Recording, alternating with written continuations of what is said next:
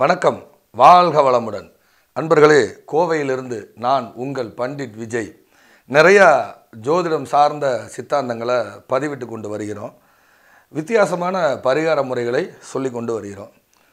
இந்த ஜாதகம் வந்து பார்த்திங்கன்னா பதினஞ்சு ரெண்டு ஆயிரத்தி தொள்ளாயிரத்தி எண்பத்தி அஞ்சு ஒரு ஒரு ஆண் ஆண் ஜாதகம். ஆறு பதினஞ்சு ஏஎம் பிறந்த ஊர் மேட்டூர். எனக்கு ஒரு நெருங்கிய நண்பர் அவர். அவருடைய ஜாதகம் வந்து பார்த்திங்கன்னா மகர லக்னம் ராசி தனுசு ராசி. சந்திரன் வந்து மூல நட்சத்திரத்தில் இருக்கார். சந்திரன் மூல நட்சத்திரத்தில் இருக்கார். நான் எப்பயுமே இந்த ரெண்டாம் இடத்தை வச்சு தான் நான் அவங்க தொழிலை சொல்கிறது என்னுடைய வழக்கம். ஏன்னா என்னுடைய குருமார்களுடைய முறைகளை தான் நான் ஃபாலோ பண்ணுறது வழக்கம். நிறையா ஜோட சார்ந்த சுத்த சித்தாந்த நூல்கள் நிறையா இருந்தாலும் நான் என்னுடைய குருவிட்ட கலையை தவிர எங்கேயும் மாறி போகிறதில்ல நிறைய குருமார்களை சந்தித்து நிறையா ஜோதிடம் சார்ந்த ரகசியங்களை தெரிஞ்சு இதுக்காக கிட்டத்தட்ட ஒரு இருபது வருஷம் லைஃப் இப்படியே போயிடுச்சு.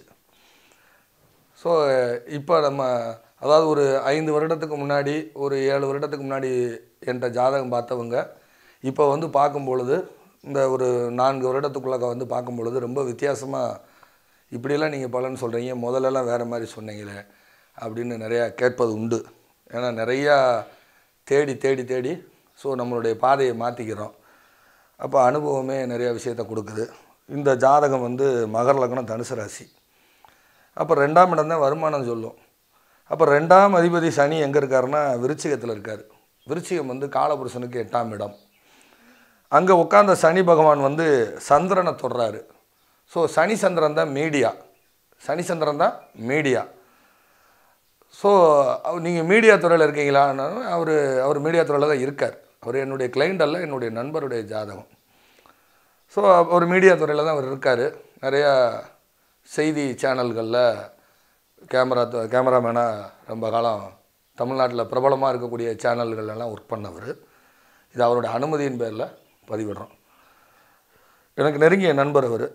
இந்த லக்னத்துக்கு பார்த்தீங்கன்னா மகர லக்னம் ரெண்டு குடையவர் எங்கே இருக்கார்? சனி பதினொன்றில் லாப வீட்டில் பாதகத்தில் போய் உட்காந்து அது போய் சந்திரனை தொடுது. ஏழு குடைய சந்திரனை தொடுது. அப்போ இந்த மகர லக்னத்துக்கு ஏழாம் அதிபதி சந்திரனை போய் சனி தொடுது. ரெண்டுங்கிறது குடும்பம் பதினொன்றுங்கிறது பாதகம். சனி போய் சந்திரனை தொடுது. சந்திரனை தொட்டதுனால மீடியா துறையை சார்ந்த பெண்ணையே அவர் திருமணம் முடிச்சிருக்காரு. ஒரு நியூஸ் ரீடராக இருந்தவங்கள அவங்க திருமணம் முடிச்சிருக்காரு. விருப்ப திருமணமாக முடிச்சிருக்காரு. சனி சந்திரன் விருப்ப திருமணமாக இங்கே அமைஞ்சிருது. இவர் வந்து மூல நட்சத்திரம். ஸோ மூல நட்சத்திரம் வந்து பொதுவாக நான் சொல்லக்கூடிய அட்வைஸ் என்னென்னா ஒரு யாராவது ஒரு மனிதரோட பெரிய மனிதரோட போய் ஒட்டிக்கிறணும். தனித்து செயல்படக்கூடாது. ஏன்னா ஆஞ்சநேயர் வந்து ராமன் கூட இருந்த வரைக்கும் தான் ஆஞ்சநேயருக்கு மரியாதை. ஆஞ்சநேயருக்கு வெகுமதி.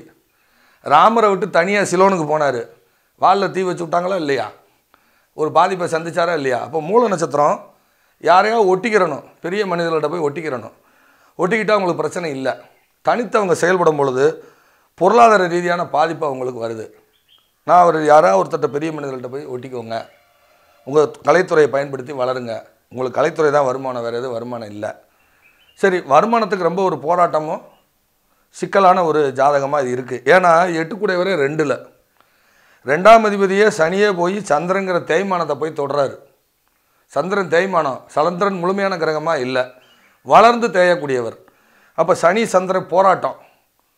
ஒரு நாள் பார்த்திங்கன்னா நம்ம இவங்க போடுற திட்டங்கள் எல்லாமே ஃபெயிலியர் ஆகும். எதையுமே எதிர்பார்க்காம ஒரு சம்பவத்துக்கு போகும்போது சக்ஸஸ் ஆகும். எதிர்பார்ப்போடு போகும்போது ஃபெயிலியர் ஆயிரும். இது சனிச்சந்திரனுடைய தலையெழுத்து. உதாரணமாக எனக்கும் சனிச்சந்திரன் தொடர்பு. அதனால தான் மீடியாக்குள்ளே கொண்டு வந்தது.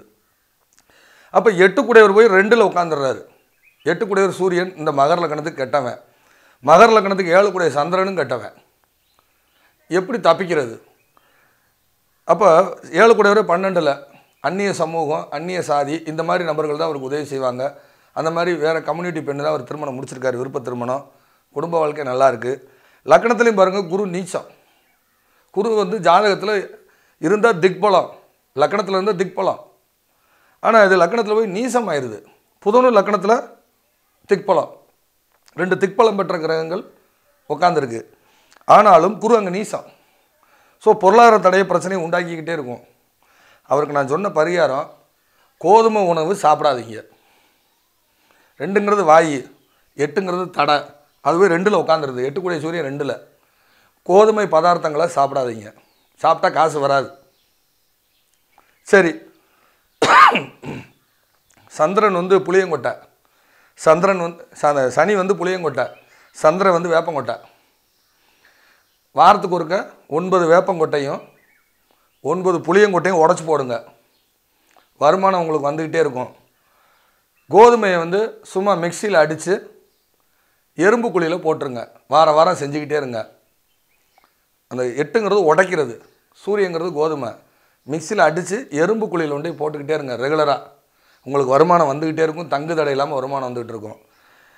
இப்போ வந்து பார்த்தீங்கன்னா ஒரு பெரிய நிறுவனங்களோட ஒரு தொடர்பு ஏற்படும். ஒரு தலை சுத்தல் மயக்கம் தொந்தரவு வரும். ஏன்னா டிரான்சிட்டில் இருக்கிற ராகு இந்த சூரியனை இயக்கிக்கிட்டு இருக்காரு. தலையில் அவருக்கு பிரச்சனை இருக்கும். ஸோ அடிக்கடி தலையில் தான் அடிபட்டிருக்கும் விபத்து வந்திருக்கும். அதனால் அந்த டிரான்சிட்டில் இருக்கக்கூடிய ராகு ராகு பகவான் வந்து இங்கே உட்காந்து ஒன்று ரெண்டு மூணு நாலு அஞ்சாம் இடத்தை ஏற்கிறாரு அதாவது ஒன்று ரெண்டு மூணு நாலு அஞ்சாம் இடத்தை ஏற்கிறார் ராகு அங்கே மிதனத்தில் உட்காந்து இங்கே ஏற்கிறார் சூரியங்கிறது பெரிய மனிதர்கள் பெரிய நிர்வாகம். அந்த மாதிரி ஒரு நிர்வாகத்தோடு இப்போ பேச்சு ஓடிக்கிட்டு இருக்கும். இந்த சனி பயிற்சியானதுக்கு பிறகு ஏன்னா இப்போ சனி சூரியனை பார்த்துக்கிட்டு இருக்காரு. சனி பயிற்சியானதுக்கு பிறகு அந்த முயற்சி எடுத்தால் அவருக்கு வெற்றி அடையும். ஒரு பெரிய நிர்வாகத்தோட ஒரு டைப் வச்சு ஒரு ஒரு அது எப்படி சொல்கிறது அப்படின்னு கேட்டிங்கன்னா ஒரு ப்ரொடியூசராக ஒரு ப்ரோக்ராமுக்கு ஒரு ப்ரொடியூசராக அவர் போகலாம். சூரியன் தான் ப்ரொடியூசர் சூரியன் தான் உற்பத்தி. சூரியன் தான் மேலாளர். சூரியன் தான் நிர்வாகி. ஸோ ஒரு சூரியனுடைய பெயர் கொண்ட சூரியன் தான் ராஜா. ஸோ சூரியனுடைய பெயர் கொண்ட ராஜான்னு பெயர் கொண்ட ஒரு பெரிய நிர்வாகத்தில் அவருக்கு ஒரு வாய்ப்பு வரும். அதுக்கான முயற்சி அவர் செஞ்சால் சக்ஸஸ் ஆவார். அப்போ நான் சொன்ன பரிகாரம் சந்திரங்கிறது வேப்பங்கொட்டை சனிங்கிறது சனி புளியமரம் புளியங்கொட்டை இது ரெண்டையும் உடச்சிக்கிட்டே இருக்கணும். வாரத்தில் ஒரு நாள். ஒன்பது புளியங்கொட்டை என்ன விலை வரும்? ஒன்பது வேப்பங்கொட்டை என்ன விலை வரும்? ஸோ அது ரெண்டையும் உடச்சிக்கிட்டே இருங்க. கோதுமை உணவை சாப்பிடாதீங்க. ரெண்டுங்கிறது வருமானம். எட்டுங்கிறது கோதுமை. எட்டுங்கிறது சூரியன் சூரியனுடைய தானியம் கோதுமை. ஸோ அதை சாப்பிடாதீங்க. ஹில் ஸ்டேஷன் வந்து போகும்பொழுது உங்களுக்கு ஒரு சிரமப்படுத்தி தான் கொண்டு போகும். அப்போ அது ஹில் ஸ்டேஷன் போகிறத கொஞ்சம் கொஞ்சமாக தவிருங்க. அது மாதிரி மலைக்கோயில்களுக்கு நீங்கள் போக வேண்டாம். போனால் பிரச்சனை வரும். அதே மாதிரி ஒரு கண்ணாடி வாங்கி முகம் பார்த்து உடச்சி போடுங்க. இதான் நான் சொன்ன பரிகாரம். ஸோ இந்த கோதுமையை உடச்சி போட்டுக்கிட்டே இருங்க. ரெண்டுங்கிற வருமானம் தேடி வந்துக்கிட்டே இருக்கும். ரெண்டுங்கிற வருமானம் தேடி வந்துக்கிட்டே இருக்கும். ஸோ நான் சொல்கிற பரிகாரம் இதுவே. ஸோ என்னுடைய ஒரு பரிகாரம் என்பது ஒவ்வொருத்தருக்கும் ஒவ்வொரு விதமாக வித்தியாசமாக மாறிக்கிட்டே இருக்கும். அதுதான் நான் சொல்லக்கூடிய என்னுடைய ஜோதிட முறைகள். ஸோ என் நண்பருக்கு இந்த மாதிரி பரிகாரம் சொல்லி இப்போ அவர் செஞ்சுக்கிட்டு இருக்காரு. கண்டிப்பாக அவர் சக்ஸஸ் ஆயிடுவார். இந்த செப்டம்பர் பத்தொம்போது இந்த சனி இன்றைக்கி செப் நம்ம பார்க்குற இன்றைக்கி நான் பார்க்குற இன்றைக்கி செப்டம்பர் பத்தொம்போது. ஆக்சுவலாக நேற்று பன்னெண்டு முப்பத்தி ரெண்டுக்கு சனி பகவான் வந்து வக்கர நிவர்த்தி ஆகிட்டார் நான் சொன்னபடி பிரகாரம் ரிஷப லக்னம் சிம்ம லக்னம் இந்த மாதிரியான ரொம்ப பாதிப்பில் இருந்த லக்னங்கள் துலா லக்னம் அவங்களாம் ரொம்ப சூப்பராக இருப்பாங்க. அவங்களுக்கு நல்ல பலன் ஏற்படும். மீண்டும் நல்ல ஒரு ஆரோக்கியமான சூழலில் சந்திக்க விரும்பும் நான் உங்கள் பண்டிட் விஜய். வணக்கம். வாழ்க வளமுடன்.